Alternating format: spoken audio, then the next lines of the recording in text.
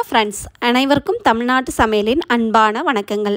இன்றைக்கி நம்ம சேனலில் என்ன பார்க்க போகிறோன்னா ஒரு அற்புதமான தகவலை தான் இன்றைக்கி நான் உங்கள்கிட்ட ஷேர் பண்ண இருக்கேன். அது என்னென்னா ஆத்ம விளக்கை வந்து நம்ம எப்படி ஏற்றணும் எப்பொழுது ஏற்றணும் எதற்காக நம்ம வந்து ஏற்றுறோம் ஆத்ம விளக்கின் நன்மைகள் இது எல்லாத்தையும் வந்து நம்ம விளக்கமாக வந்து பார்க்க போகிறோம் ஏற்கனவே என்னுடைய சேனலில் வீடியோ நூற்றி இருபத்தெட்டில் ஆத்ம விளக்கு ஏற்றும் முறை பற்றி நான் போட்டிருக்கேன். அது ரெண்டு வருஷத்துக்கு முன்னால் நான் அந்த உங்களுக்கு வந்து போட்டிருந்தேன். இப்போ வந்து அதனுடைய நன்மைகள் எல்லாத்தையும் வந்து பார்த்துருவோம். வாங்க இப்போ நம்ம வீடியோக்குள்ளே போயிடுவோம். வீடியோக்குள்ளே போகிறதுக்கு முன்னால் நம்மளுடைய சேனலுக்கு இப்போ தான் நீங்கள் முத முதல்ல வந்து பார்க்குறீங்க அப்படின்னா சப்ஸ்கிரைப் பண்ணிக்கோங்க. பக்கத்தில் இருக்க நோட்டிஃபிகேஷன் பெல்லை வந்து கிளிக் பண்ணுங்கள் இப்போ நம்ம வீடியோக்குள்ளே போயிடலாம். ஆத்ம விளக்கு அப்படின்னு சொன்னாலே அது வந்து எல்லா திசைகளிலும் ஒளிரக்கூடிய மிக சக்தி வாய்ந்த விளக்கும் கூட. நம்ம காமாட்சி அம்மன் விளக்கு ஏற்றிருப்போம் குத்து விளக்கு ஏற்றிருப்போம் எத்தனையோ விளக்குகள் ஏற்றியிருப்போம். அப்படி இருந்தாலும் சக்தி வாய்ந்த ஒரு விளக்கு அப்படின்னு சொன்னால் அது ஆத்ம விளக்கு தான்.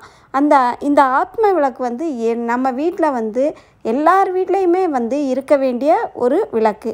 இந்த வா ஆத்ம விளக்கை வந்து ஏற்றும் பொழுது ஏற்றும் பொழுது நம் உடலில் இருக்கிற ஜீவாத்மாவும் பரம்பொருளாக இருக்கும் கடவுளான பரமாத்மாவும் இணைந்து செயல்படுவதாக ஐதீகம். இந்த விளக்கை பார்த்திங்கன்னா சித்தர்கள் முனிவர்கள் ரிஷிகள் இவங்க எல்லாருமே வந்து பல லட்சம் ஆண்டுகளுக்கு முன்னாலேயே வந்து ஏற்றிக்கிட்டு வந்திருக்காங்க. இந்த ஆத்ம விளக்கு ஏற்றுறனால மனம் வந்து ஒன்றுபடுது. இறைவனிடம் வந்து நாம் நேரடியாகவே வந்து உரையாட முடியும்.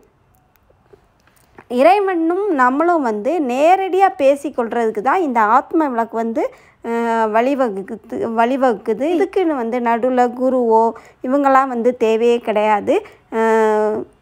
நம்ம நேருக்கு நேராக நம்ம இறைவன்கிட்ட வந்து நம்ம கேட்குறதுக்கு ஒரு பாலமாக வந்து ஆத்ம விளக்கு வந்து திகழுது. இந்த ஆத்ம விளக்கு பார்த்தீங்கன்னா உங்கள் வீட்டில் ஏற்றுறீங்க அப்படின்னா ஒன்றே ஒன்று நீங்கள் ஏற்றுங்க அது போதும். இதை வந்து எப்போ ஏற்றணும் அப்படின்னு பார்த்தீங்கன்னா இப்போ நான் உங்களுக்கு காமிச்சிருக்கேன். ஒரு தாம்பாள தட்டு எடுத்துக்கோங்க. அதில் வந்து மஞ்சள் குங்குமம்லாம் வச்சாச்சு. அதுக்கு அடுத்து நம்மளுடைய ஆத்ம விளக்கை எடுத்து வச்சுருக்கோம். அதில் மஞ்சள் குங்குமம் வந்து கீழே இருந்து மேலே வரைக்கும் நீங்கள் பொட்டு வைக்கணும். இந்த பொட்டு வைக்கிறது எப்படி காமாட்சி அம்மன் விளக்குக்கு அப்படின்ற ஒரு பதிவு கொடுத்துருக்கேன். பார்க்காதவங்க அதையும் போய் பார்த்து தெரிஞ்சுக்கோங்க. இதில் நடுவில் இருக்கிறதுல தான் நம்ம வந்து திரி போடணும். ஒத்த திரியா நடுவில் மட்டும் எரியக்கூடியது தான் இந்த ஆத்ம விளக்கு. இதை நம்ம எப்போ போடணும் அப்படின்னு பார்த்தீங்கன்னா இப்போ பாருங்கள் தாம்பாள தட்டிட்டு நம்ம மஞ்சள் குங்குமம்லாம் வச்சுட்டோம். அடுத்து ஆத்ம விளக்கு வச்சுருக்கோம் இந்த ஆத்ம விளக்கை வந்து நான் எடுத்து வச்சுருக்கேன். இந்த ஆத்ம விளக்குக்கு வந்து நம்ம மஞ்சள் குங்குமம்லாம் வச்சுக்கிடுவோம். மஞ்சள் குங்குமம் வந்து எப்படி வைக்கணும்? காமாட்சி அம்மன் விளக்குக்கு அப்படின்னு ஒரு பதிவு இருக்குது அந்த பதிவை பார்க்காதவங்க அதையும் போய் பார்த்து தெரிஞ்சுக்கோங்க. இப்போ மஞ்சள் குங்குமம் வந்து நம்ம கீழேருந்து மேலாக மேலே வந்து நம்ம வச்சுக்கிடுவோம். ஆத்ம விளக்குக்கு நடுவில் வந்து திரி போடணும். எல்லா விளக்குகளையும் பார்த்தீங்கன்னா என்னுடைய பதிவை பார்த்தா உங்களுக்கு தெரிஞ்சிருக்கும். எண்ணெய் ஊற்றிட்டு நீங்கள் திரி போடுங்க அப்படின்னு சொல்லியிருப்பேன். ஆனால் இந்த ஆத்ம விளக்கில் நீங்கள் முதல்ல வந்து திரியை போட்டுருங்க. அப்போ தான் வந்து திரி வந்து நான் இப்போ போட்டிருக்கேன் பார்த்தீங்களா அது மாதிரி மெல்லிஸாக போட்டு நீங்கள் கீழே இறக்கிட்டீங்கன்னா திரி வந்து நல்லா உள்ளே இருக்கும். அதுக்கப்புறம் நீங்கள் வந்து எண்ணெயை ஊற்றலாம் அப்படி இல்லாமல் எப்பையும் போல் நீங்கள் எண்ணெயை ஊற்றிட்டு திரி போட்டிங்கன்னா அது வந்து கரெக்டாக வந்து வராது. அதனால தான் நான் முதல்ல வந்து திரியை போட்டிருக்கேன். திரியை போட்டுட்டு அதுக்கப்புறம் வந்து நம்ம நல்லெண்ணெய் ஊற்றிக்கலாம் நெய் ஊற்றுனீங்கன்னா மிகவும் சிறப்பானது. நெய் வந்து எல்லாராலையும் ஊற்ற முடியாதனால நான் நல்லெண்ணெயை ஊற்றி உங்களுக்கு காமிச்சிருக்கேன். இந்த மாதிரி நீங்கள் ஊற்றிட்டு இந்த விளக்கை எடுத்து அந்த தாம்பாள தட்டில் வந்து நடுவில் வச்சுருங்க.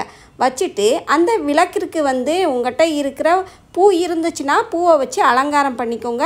அப்படி இல்லைன்னா இந்த இதை மட்டும் நீங்கள் ஃபாலோ பண்ணிக்கோங்க. விளக்கை வந்து கீழே வைக்காமல் ஏதாவது ஒரு தாம்பாள தட்டில் வச்சு நீங்கள் வந்து வச்சுக்கிட்டு இந்த மாதிரி தீபத்தை வந்து ஏற்றி வைங்க.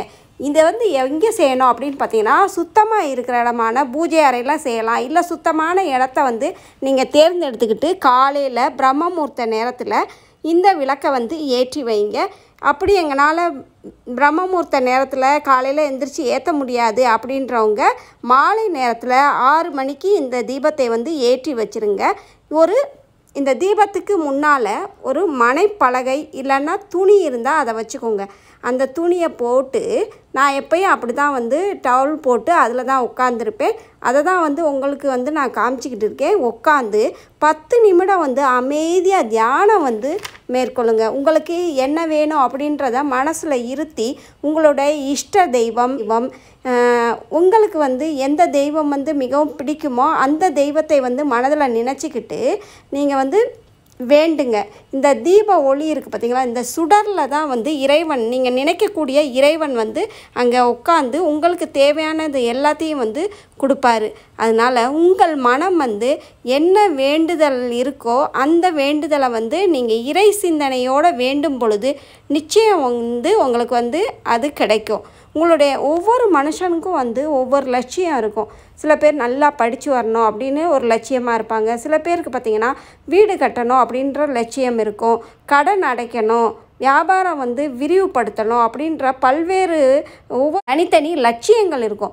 அந்த லட்சியத்தை வந்து வெற்றி அடைய செய்வதற்கு இந்த ஆத்ம விளக்கை வந்து நம்ம வந்து பயன்படுத்தி இறைவன் நம்முள் வந்து ஜோதி வடிவில் இருக்காரு அப்படின்னு ஞா நீங்கள் நினச்சிக்கிட்டு நீங்கள் உங்கள் வேண்டுதலை வந்து நீங்கள் சொல்லும் பொழுது நிச்சயம் வந்து உங்கள் வேண்டுதல் வந்து பூர்த்தியாகும்.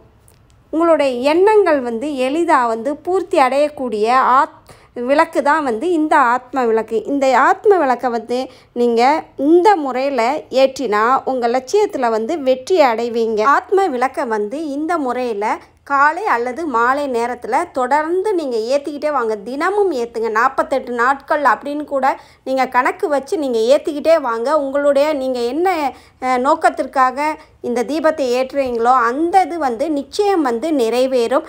நம்மளும் கடவுளும் வந்து நேரடியாக வந்து அவரை வந்து அவர்கிட்ட வந்து நம்ம கேட்குறத வந்து இந்த ஒளியின் மூலமாக வந்து நம்ம கேட்குறோம். இந்த மாதிரி நீங்கள் ஏற்றி பலனடைங்க. இந்த வீடியோ பிடிச்சிருந்தா உங்கள் ஃப்ரெண்ட்ஸுகளுக்கு ஷேர் பண்ணுங்கள் ஒரு லைக் கொடுங்க. இந்த வீடியோ பற்றிய கருத்துக்களை எனக்கு தவறாமல் அனுப்புங்க. இதில் ஏதாவது உங்களுக்கு சந்தேகம் இருந்தால் எனக்கு எழுதி அனுப்புங்க. அதற்கு வந்து நான் வந்து ஆன்சர் பண்ணி அனுப்புகிறேன் இந்த வீடியோவோட நான் முடிச்சுக்கிறேன். அடுத்த வீடியோவில் நல்ல ஆன்மீக தகவலுடன் சந்திக்கிறேன். நன்றி வணக்கம்.